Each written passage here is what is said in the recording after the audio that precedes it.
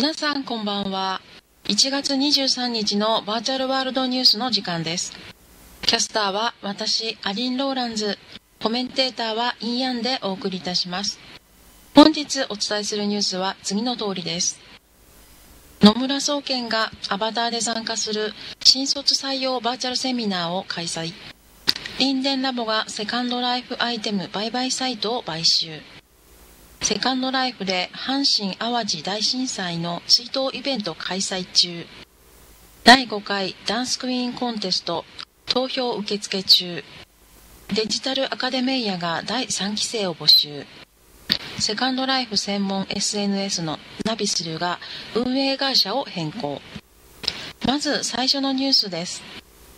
野村総合研究所が1月の下旬より同社の運営する 3D 仮想世界サイトキューブで新卒採用セミナー NRI セミナー in サイトキューブを開催すると発表しました。サイトキューブは Web ブラウザー上から利用できる 3D のコミュニケーションツールで 3D オブジェクトと Web を連動させることにより様々なサービスが提供できる野村総合研究所独自の仮想世界サービスです。今回のセミナーはサイトキューブを利用して1月の下旬から計5回のセミナーを開く予定だということです。これまで野村総合研究所では首都圏を中心に採用セミナーを開催していましたが地方の学生は移動時間や交通費の負担がかかっていたということです。しかし、サイトキューブであれば、PC とインターネット環境さえあれば、どこからでも参加でき、さらに野村総合研究所側でも、採用者以外の社員も参加者とコミュニケーションが取りやすくなるということです。同社では今後、3月に NRI 社員訪問 in サイトキューブ、4月には NRI 内定者集合 in サイトキューブなどを開催し、採用活動全体を通してサイトキューブを活用していく予定だということです。次のニュースです。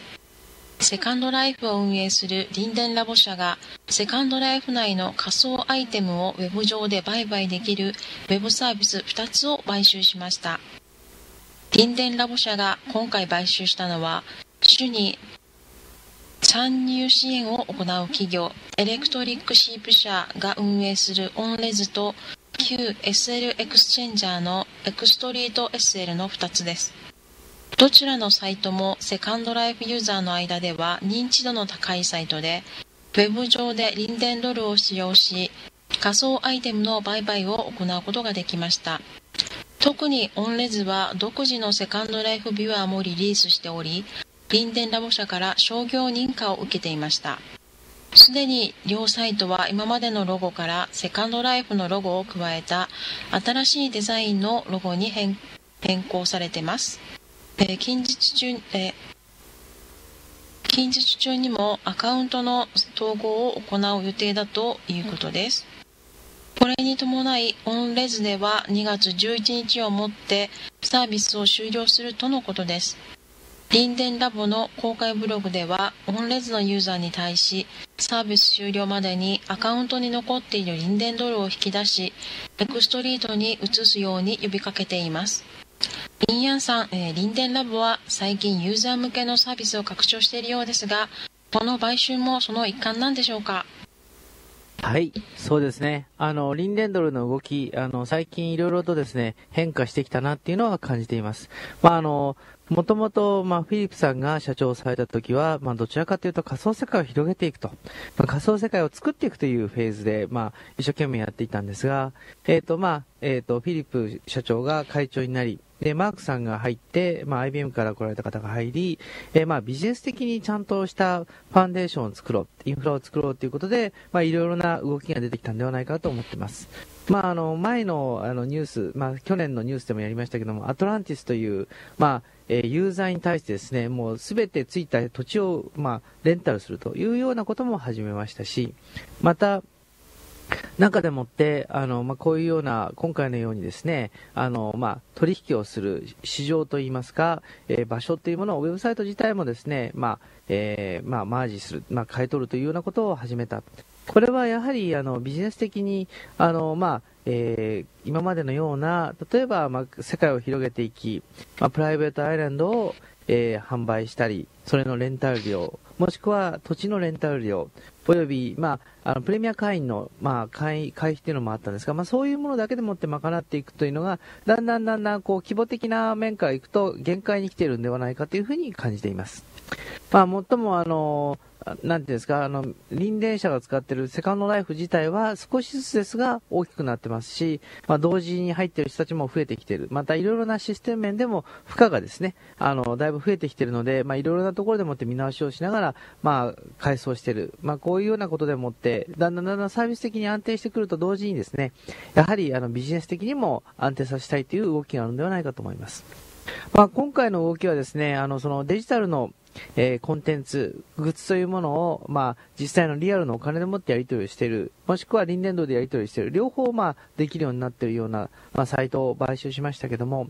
これからそういうような動きが、まあ、だんだん激しくなっていくんではないかなというふうにも思いますし、また、セカンドライフだけではない他のメタバースも、まあ、実際のアイテム課金、もしくはアイテムの販売というようなことにも、まあ、結構昔から乗り出してますので、今後この辺のですね、市場というものが注目かもしれません。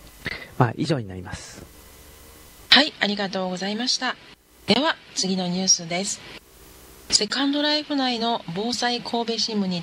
て阪神・淡路大震災の追悼イベント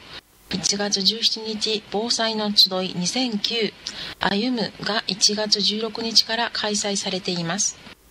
防災神戸は震災後防災や減災の研究が盛んに行われている神戸の大学等の研究機関や行政からの情報発信や情報収集を行っているサイトです。セカンドライフ内にも情報発信の拠点として防災神戸支部が仮想都市ランド神戸の一角に設置されています。現在防災神戸支部には遠方で神戸に訪れることができない人のために仮想世界内で追悼を行うことができるスペースを準備し献花を行うことができるということです。また支部内で募金を行っており NPO 法人阪神・淡路大震災1月17日希望の明かりへの募金が行えるとのことです。この防災の集いは1月31日までランド神戸の防災神戸支部で行われています。次のニュースです。セカンドライフ内のダンスクラブルーベラにて毎月恒例のダンスクイーンコンテストが開催され現在投票受付中です。ダンスクラブルーベラはオーナーのみのりさんが SL を歩き回り様々なダンスホールを参考に作ったみのりさんの理想のダンスクラブで一般的なセカンドライフにあるようなシンクロダンスのダンスボールは設置されておらず、えー、壁に設置されたダンス用の波動を装着してそれぞれ自由にダンスを楽しむことができます。ルーベラのダンスクイーンコンテストは9月から毎月開催されており今回の開催ですでに5回目を迎えています。応募資格は女性アバターであることのみで、ルーベラで踊っている姿をスナップショットに収め、応募するのですが、今回はすでに上限の12名を超えたため、応募は締め切られています。できる限り手間をかけずに参加してもらいたいとの意向で、応募方法を簡単にしたということですが、その分応募されるスナップショットはかなりこだわって応募されている方が多いとのことです。第5回ダンスクイーンコンテストの投票は31日まで行われ2月1日に発表。優勝者には1000輪伝ドルと記念品が授与されるとのことです。次のニュースです。セカンドライフ内の仮想学園デジタルアカデメイヤが3期生の募集を開始しました。デジタルアカデメイヤはセカンドライフ内で楽しみながら学び交流を深めてもらおうとボランティアで運営されている学校です。毎回多数の募集があり募集の締め切り後も入学希望者が絶えないということです。今回も音楽制作英語マシニマ初級 SS 撮影などの授業を受けることができるほか生徒たちの自主的な活動の部活動も活発だということです。また生徒になると配布されるセカンドライフ有名ブランドのベアローズの制服も人気です。第3期の募集は締め切りが1月30日までとなっており短く設定されているので希望の方はお早めに申し込みされることをお勧めします。詳しくはこちらのデジタルアカデミアのホームページをご覧ください。